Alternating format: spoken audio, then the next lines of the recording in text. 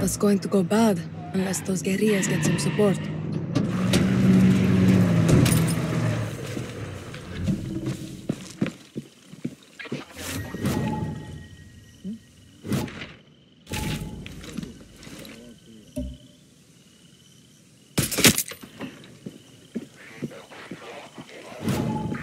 There's the.